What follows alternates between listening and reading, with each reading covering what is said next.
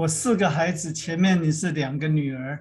嗯，呃，一个当然是很听话，然后第二个呢，就是，呃，就是完全他有他自己的意见，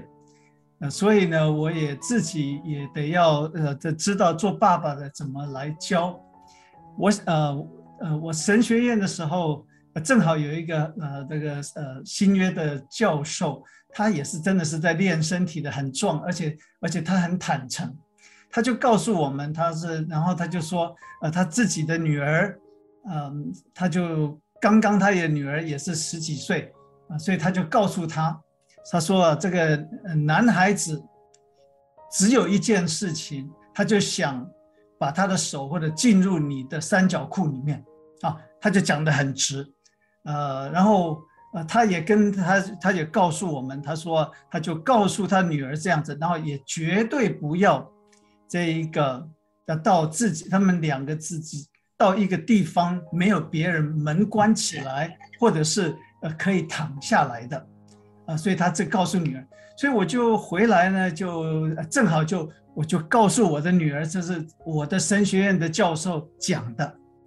呃，而且呢，他我就照着这个神学院教授讲，他说你们女孩子出去一定要假想。你的两个大腿里面要夹着一个 dime，啊，ten cents 那个 dime，而且整个晚上都不可以让它掉下来。哦，他们就讲那个女儿就要 yuck 啊，他说你怎么在讲这样子？我说我要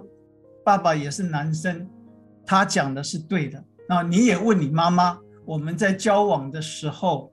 呃，是不是这样子？啊，所以我后来当你讲了，呃，当我讲了这样子这么露骨的这种事情以后，我就每一次我的孩子，我就提醒他，就说不要让那个 dime 掉下来，啊，我我我就讲这样子而已。然后爸爸，呃，对对，他们就孩子就会说，爸，我们知道。我说好，知道就好。呃，因为我的女儿，呃，他们也后来呃在大学里面，你真的没有办法管。我们除了祷告，可是如果你没有讲，孩子就会认为 it's okay。那我们给他讲，而且我们自己也提醒他。